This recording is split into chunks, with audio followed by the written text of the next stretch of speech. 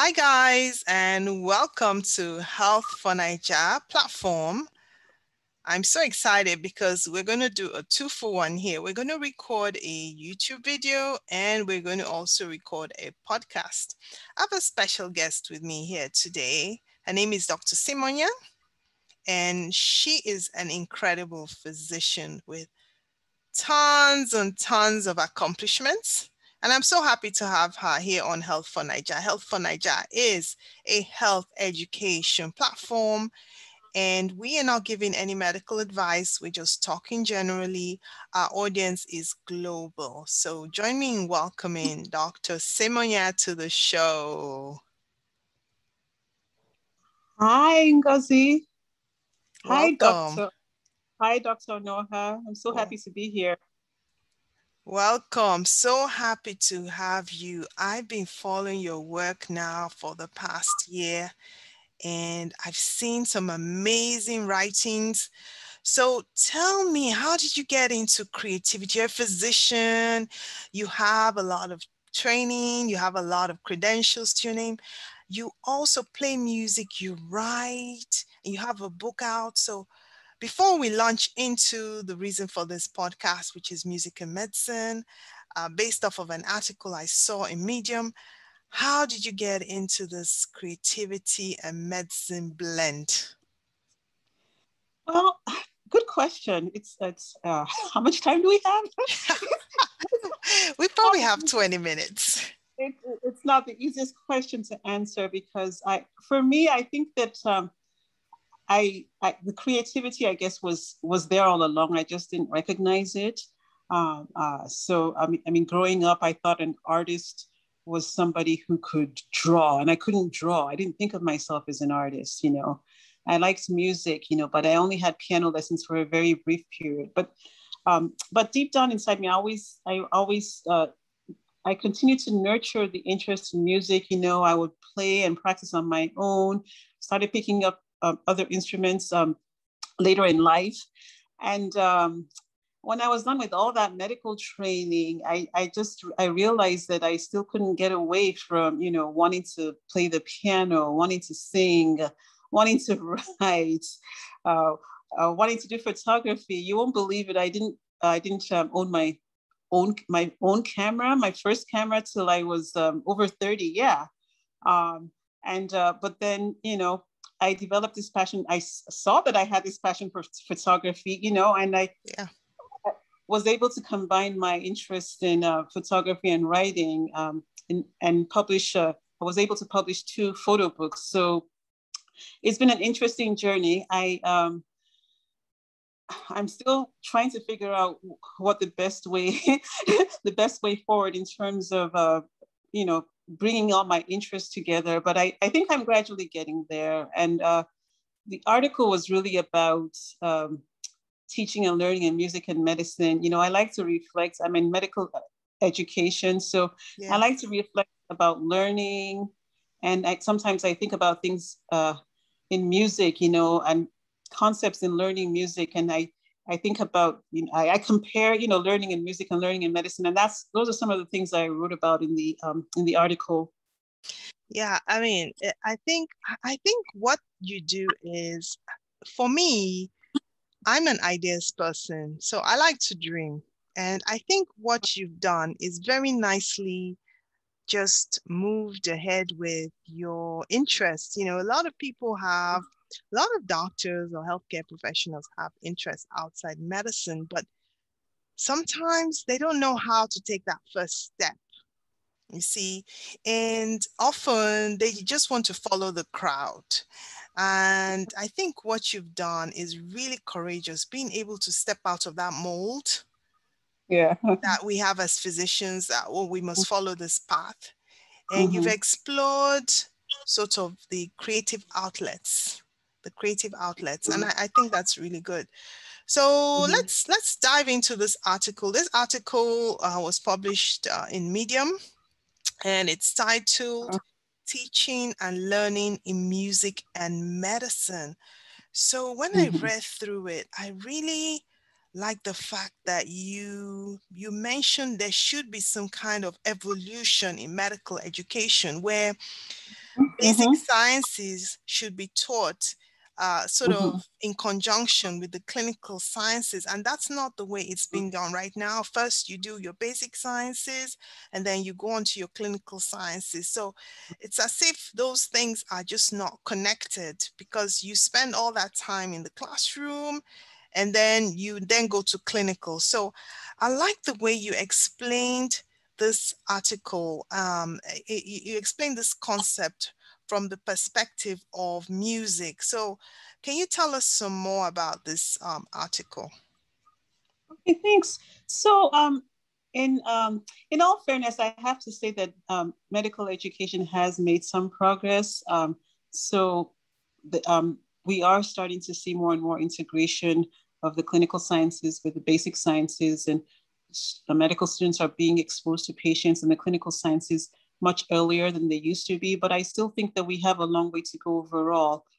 But what the idea I was exploring in the essay was, was that, um, for example, when you learn you learn anatomy and you learn uh, biochemistry and physiology, you know, and then you don't see patients and you, you know, and then what you're learning in the classroom is not related to, it's, it's not, it, it's not immediately relevant. And when you don't um, see patients while you're learning about um, while you're learning those the basic sciences. Yes. And so, for example, for example, um, at uh, the medical school where I used to be on faculty, when the students were learning um, about the pelvic anatomy, um, they also learned how to insert a speculum into a female patient. And you know, and to me that made so much sense.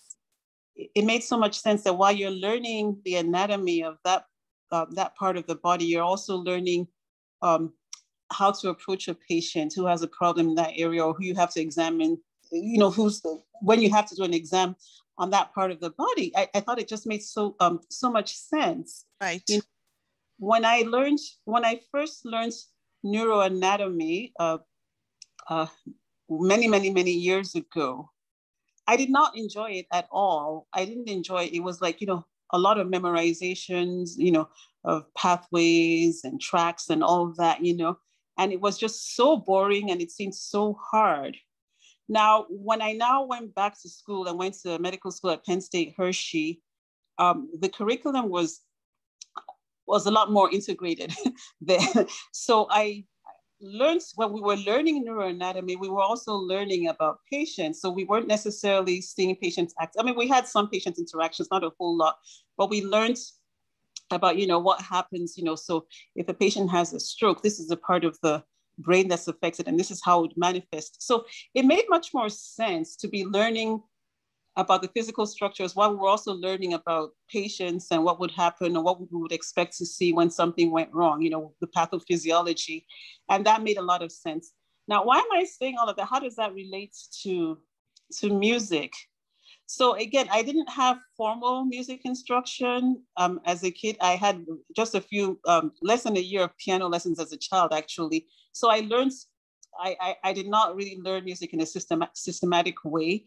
But even if I had, I, um, my understanding of music now is so much, it's, it's so much more comprehensive because I've, I've, um, I've educated myself, you know, I've taken more lessons as an adult, but I've also done a lot of reading. So when I learned to play the piano, I learned to read music, all right, to read the, you know, the notes, you know, every good boy deserves fudge. Um, I didn't learn anything about music theory.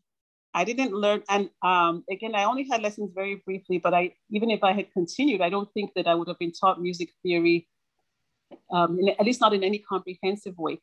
So I was learning about how to read individual notes and you know, and uh, and that's how I played, you know, playing individual notes, struggling to read and playing individual notes. It was years later when I um, learned to play the guitar, and I realized I could just play a few chords and accompany, you know, a lot of songs just by playing a few chords. I realized that wait a minute, you can do this on the piano too.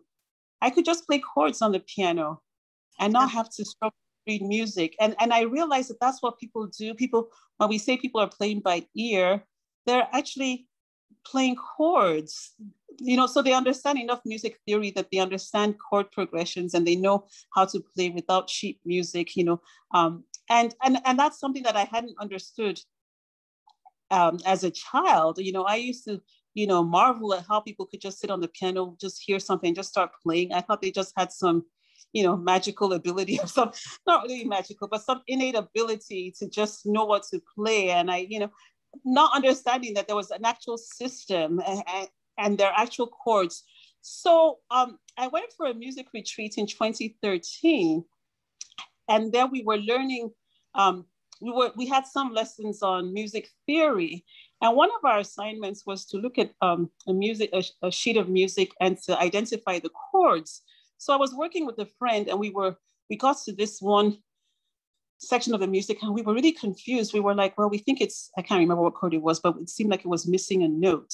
Mm-hmm. And uh, and this um, this might not make sense to people who don't understand uh, um, sheet music, but basically, the note that we thought was missing was um, was in the bass clef, and we were just looking in the treble clef. So the way the way the music was written, I knew playing that if I was playing, I had to play all the notes at the same time, the notes that were in the same position, whether they were in the bass clef or the treble clef.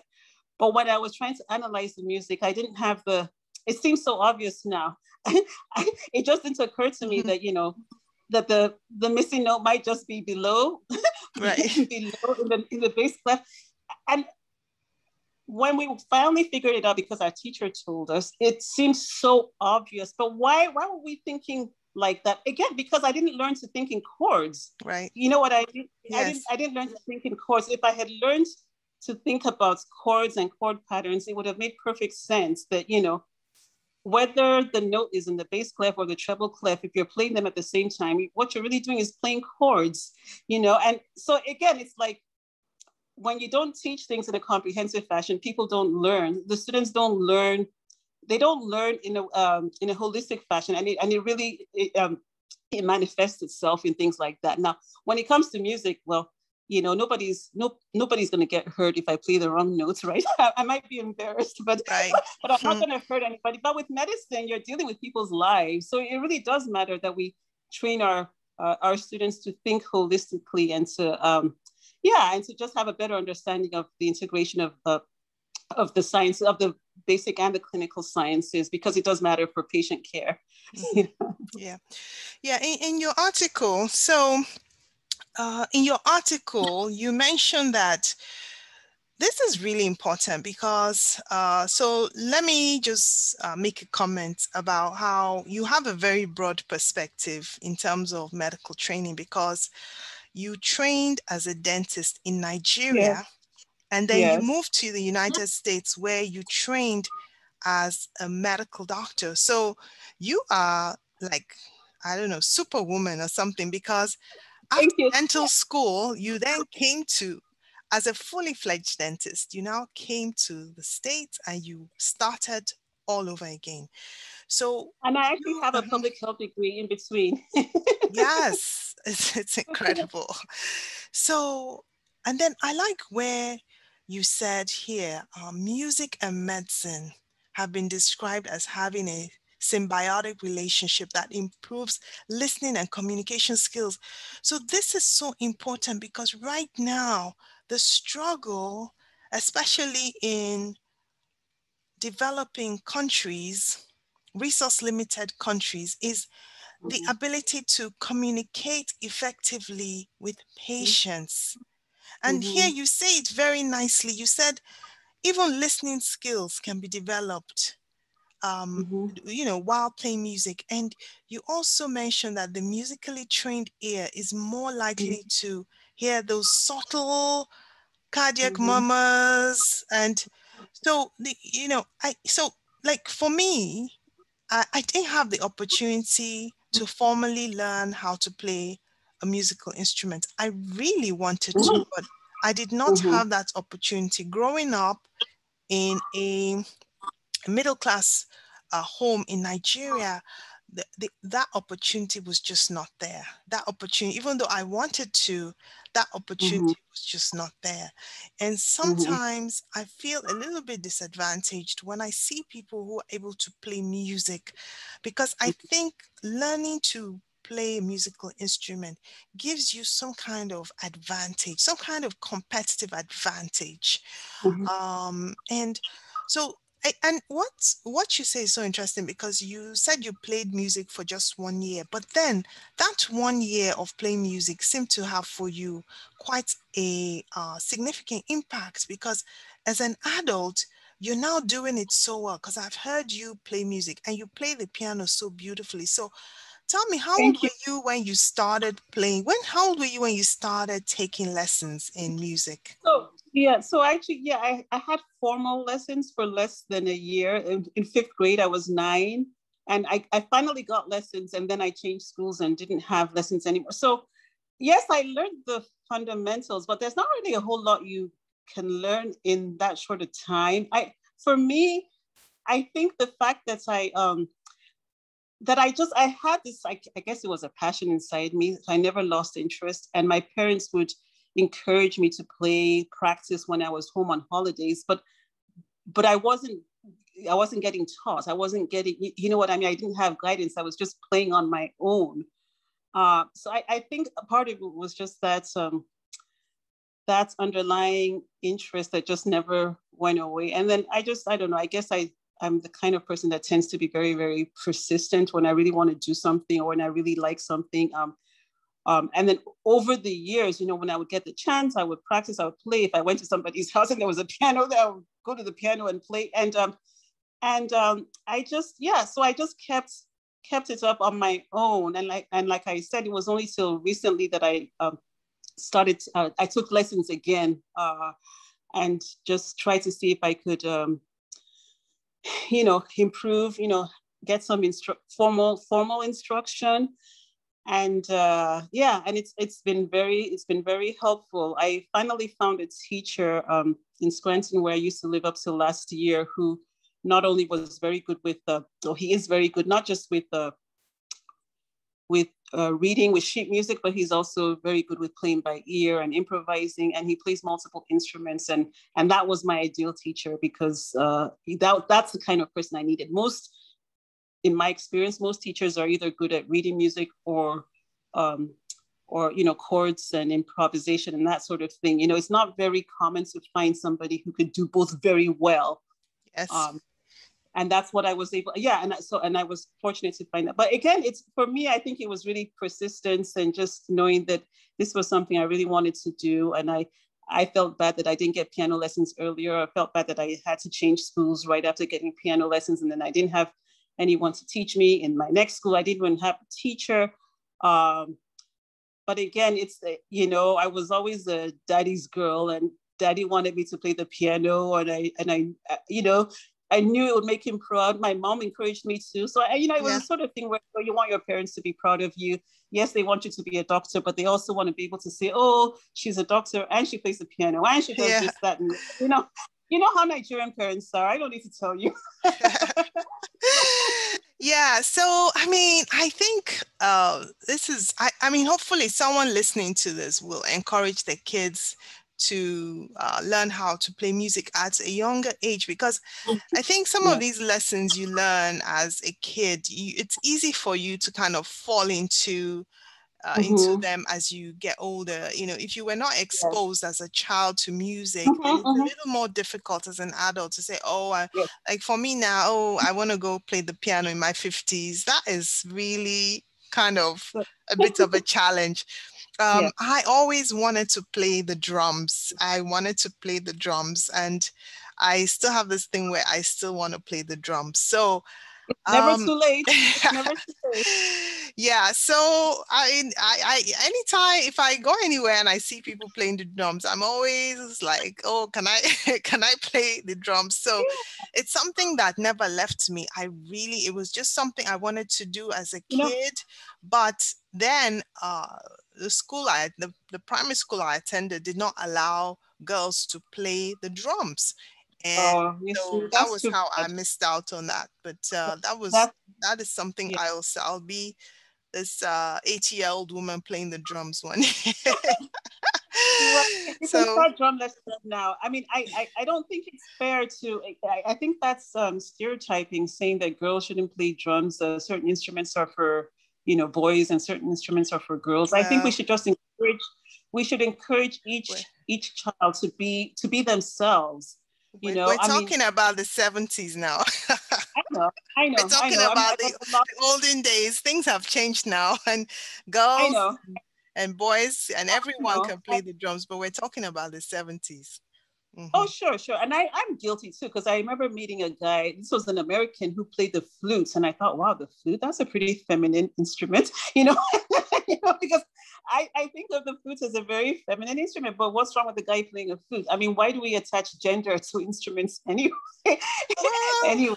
I don't, I uh, don't, I personally don't think the flute is feminine because I've seen a lot of men play the flute. So I thought the flute was masculine. So that is interesting. Oh, we all have different, oh. yeah, we all have different perceptions of what oh. the musical instrument is. But I know as a as a child, maybe seven, eight, uh, in the school I attended, it was playing the drums was actually for the boys and the girls didn't. Oh yeah, well that I mean I understand I understand them thinking that the drums were for boys, but but I, I don't agree with it. But I do want to go back to what you uh, mentioned earlier about the whole idea of um, listening skills being um, developed by um, you know with musical training, and I think that that's so true. I mean, I don't feel like I got it because I didn't really have formal musical training as such. Mm-hmm. But now that I know what I know, I just I, I feel like I need to be a strong advocate for musical training because and not just for musical training oh, um, the humanity the arts and the humanities overall i think really really do need to play a strong role in medical education. So they're on, on so many different levels. So so like you said you know uh, people who have musical training you're you're trained to use your ears you know and then and and that that that ability can make an make a difference in terms of how you care for your patients you, you might be the one to pick up that murmur that nobody else you know you know when you deal with rhythm as well you know um, again getting used to what is a normal rhythm and then you're listening to heart sounds you know and is this um, is, is does this patient have an arrhythmia arrhythmia you know things yeah. like that things like that yeah. that we wouldn't we wouldn't typically think of, you know. So I, I want people to get away from thinking that music um, is just a hobby, that all these things are just hobbies. No, they can make you, these hobbies, these so-called hobbies can actually make you a better clinician, a better Absolutely. doctor, you know. Absolutely, I agree. you know?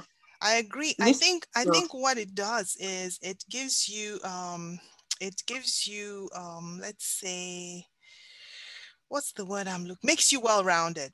That's what I'm oh, looking definitely, for. Mm-hmm. Definitely, yes, mm-hmm. yeah. And I had a friend, I had a friend at uh, Penn State Hershey who who said she got into medical school because she played the violin. I mean, I guess she was joking, but she did mm-hmm. make a point of saying that, you know, the fact that she played a violin, I don't know if it was something that came up in the interview or whatever, mm-hmm. but she apparently felt it, it made a difference or had an impact in their, you know, in their decision to accept her. And Penn State uh, College of Medicine is a school that really places a a lot of emphasis on the humanities and they really you know and in general i think more and more uh, medical schools are realizing that they want to have uh, people who are well-rounded mm-hmm. and uh, yeah and that the arts and the humanities do make us more uh, you know they make they help us to be more well-rounded you know uh, more empathetic more empathetic yes. you know better listeners um, there's even an article uh, that i read recently um, medical school should admit more guitar players. that was really? what they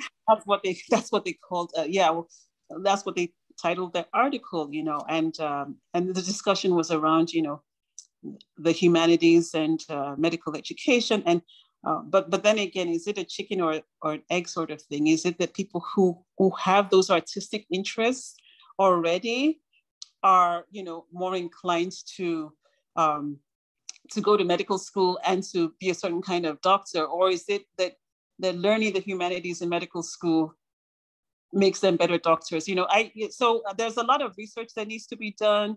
There's a lot of, um, we still have so much to learn, but we, we do know that in general, you know, uh, the arts and the humanities make us more well-rounded. And again, we need to, to I, again, beyond medicine, I think that in general, we need to teach the arts and the sciences in an integrated fashion. You know, I don't believe in this left brain, right brain dichotomy. Um, you know, I, I keep thinking about writing an essay with a title that's something that has something like that goes something like um, the corpus callosum exists for a reason. you know, you know the corpus callosum for listeners who might not um, might, might not um, know what that is. That's the that's what joins your left brain and your right brain. Simply put, yeah. So there's a reason why we have why there's something that connects the left and the right brain because they're supposed to work together, not yes. independently. not independently. Yes, absolutely. It's like the left hand not knowing what the right hand is doing type of thing. Exactly. Right? Mm-hmm. Exactly. You know, exactly. You know, and I, I, I feel that again in educational systems where kids are students are forced to choose the sciences or the arts at a very young age, I feel like mm-hmm. that's not really fair. Mm-hmm. I mean, it's you know, students should have a broad-based education. You know, mm-hmm. you shouldn't. For, how how do you want a kid that's still in high school to know what they want to do for the rest of their lives? I mean. Mm-hmm. You know, people change their minds all the time, and yeah. people, you know, adults change their minds. Adults change professions. You know, I um, so I, I, I don't think that that's that, that it's fair and then when you've forced the kids to choose, you know, the arts or the sciences, and that they're kind of stuck. They're, they're limited in what they can do mm-hmm. because, you know, because they were forced to make a decision uh, prematurely. But if you expose them to the sciences and the arts and allow them to continue exploring, then that gives them more options, you know, and um, yeah, it gives them more options. And I just, again, I think that um, our educational system is is in need for re- reform, uh, is in need of reform. And I think yeah. that it's not just it's not just medical education it's it's the whole spectrum. And i'm very passionate about that because i really do um, yeah i really do feel strongly about early education and how we raise our children and how we um, how we train them you know um, we should train them to be problem solvers you know we should train and and how do you do that? You have to encourage creativity. Yes. You know and and encouraging creativity includes encouraging them to express themselves you know if, if they have artistic um, ability or talent you know encourage them to develop that. But then how does a child even know that they have that if they're not exposed if they're not in the right environment if they don't have anybody to help them you know to help help them see empower what they have? mm-hmm. exactly anybody to empower them yeah. Mm-hmm tap into the talent or direct the talent or funnel the talent you know that's exactly you know um, okay well um, i've really enjoyed this conversation. I've i've learned a lot from it. And i think that the listeners will find a lot of value in listening to the link between creativity music and medicine. I think it's just absolutely essential uh, in this yes. day and age that we, we mm-hmm. find ourselves in. Communication mm-hmm. is absolutely important. Mm-hmm. And uh, it leads to better care. Uh, mm-hmm. it leads to better understanding. It leads to better outcomes. It leads to better outcomes. And um, I think that's the way forward. So yeah. I, I I agree. Some music should be introduced. I think even schools, primary schools that don't have music on offer, I think the best thing is to catch them young. Yes. And yes. and offer at least um, children in their formative years access mm-hmm. to mm-hmm. uh, learning music. Oh yes, yes. I, I feel very strongly, very, very strongly about that. Mm-hmm. Um, in fact, I have I have a very good friend who's a missionary in Nigeria. Who um, she's a musician, and she she went to Nigeria with her husband, not not planning to start a music school. He was going to um, work as part of a hospital revitalization project, and then mm-hmm. um, and she started a music school, and it's just so amazing to see mm-hmm. what's what they've done. So I've been uh, involved in helping to support that process, and I I just feel so passionate about it. I think it's so important. I wish we could have music schools all over all over Nigeria. Yes, I second that. I do. I second yeah. that. This is great. This has really been a wonderful discussion. I've learned so much. So um, you have a book on Amazon, and um, I'd like to give it a shout out. Thank you. And, uh, so the, yeah, the amazing world of butterflies, my photo book. Yes, so we'll put the We'll put the Amazon link in the comments, right in the comment yes. section. Thank you yes. so much. I, I, will do that. I will do that. Thank you so much, Peju, for your time. I really appreciate you spending this uh, evening talking to me, and uh, we look forward to more uh, wonderful discussions. Sure, my pleasure, Ngozi. Thank you so much. All right. So.